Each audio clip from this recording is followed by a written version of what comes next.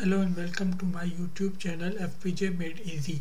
On this channel you will learn about the FPGA technology and programming from basic to advanced level. For more videos subscribe this channel by click on the subscribe button and follow us on our Facebook page for the notification. This video is very important for the undergraduate, graduate and postgraduate research students.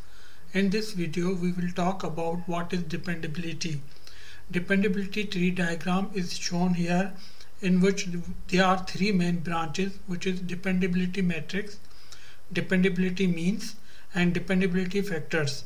In this video we will talk about the dependability matrix. And the uh, and the most important metrics are reliability availability safety mean time to failure and fault coverage will be discussed in detail. So let's start so first, what is dependability? As per definition, dependability of a computer system may be defined as justifiable confidence that it performs specified actions or deliver specified results in an accurate and timely manner. In other words, dependability is the ability of a system to deliver service that can justifiably be trusted. In simple words, dependability is the study of failures and errors. The attributes of dependability expresses the properties which are expected, expected from a system. The term dependability refers to the class of metrics such as reliability, uh, availability, fault coverage, fault latency, mean time to failure, testability and safety. The three primary attributes are reliability, availability and safety. So there are different attributes and metrics are required depending on the application of for evaluation of system response. The first one is reliability which is an important dependability matrix. So the reliability of a system concerned with the continuity of service correctly. In other words it, it is defined as it is the probability that the circuit output is correct even in the presence of fault. As shown in, uh, in this figure, the bathtub curve is the uh, famous curve which shows the reliability of a system. There are three phases of this curve.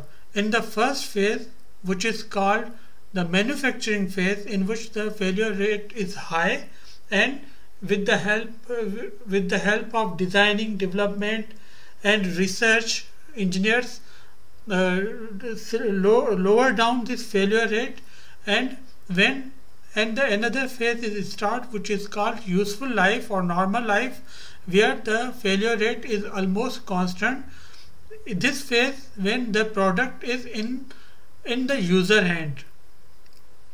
And the, uh, after some time the another phase is start which is called end of life wear out effects or aging effect. Due to this the product is starting malfunctioning and user need to replace this product. So this this uh, normal life useful life should be as long as possible to make the credibility of the product. Mathematically, it is described by this exponential function where uh, lambda represent the average constant failure rate of the component or the system and t represent the time.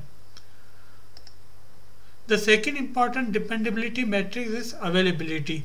As per definition, the availability is defined as the probability to find a repairable subject item to a set time t in the condition able to function.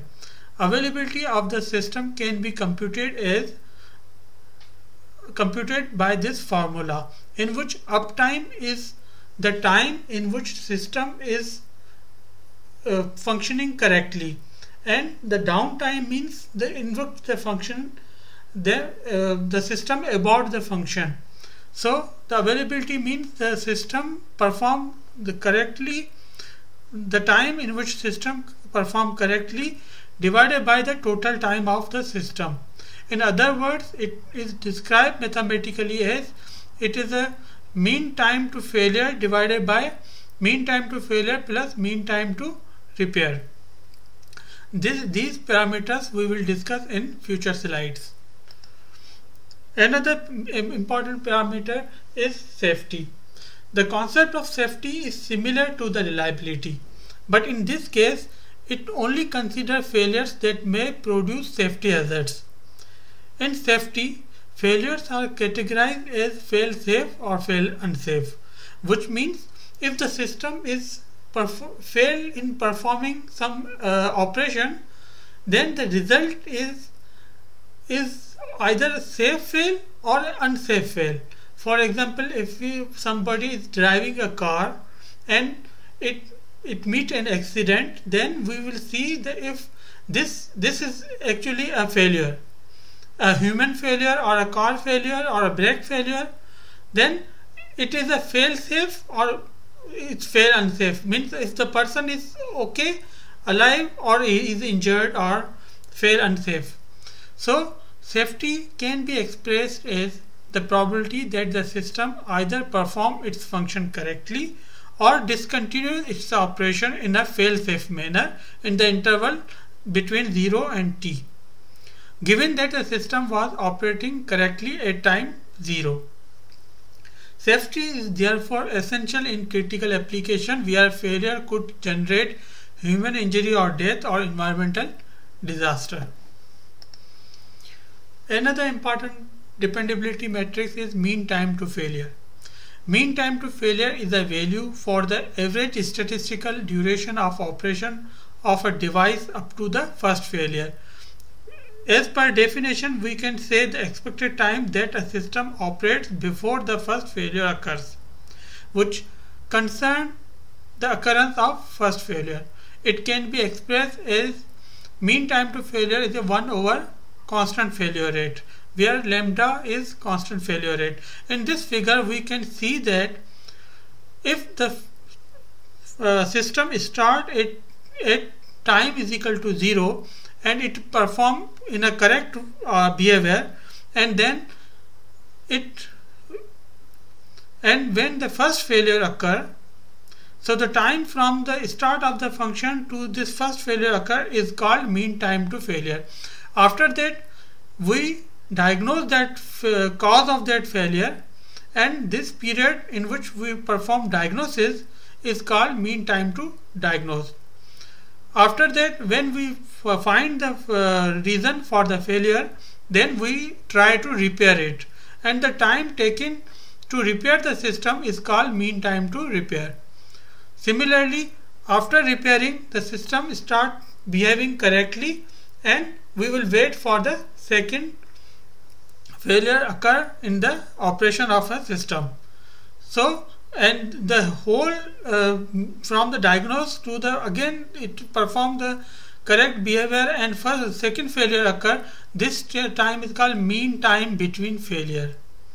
So this is also very important uh, parameter for the dependability of a system. So another parameter is fault coverage by the definition, fault coverage is the ratio of number of faults detected over the number of faults injected. Mathematically, it, it, it describes as Fc is equal to Fd over Ft into 100, where Fd is the fault detection count and Ft is total injection. This parameter is very important in testability and fault injection experimentation. The maximum fault coverage is needed for the design and testing. Thank you for watching this video. If you like this video, you subscribe this channel by click on the subscribe button and follow us on our Facebook page for the notification.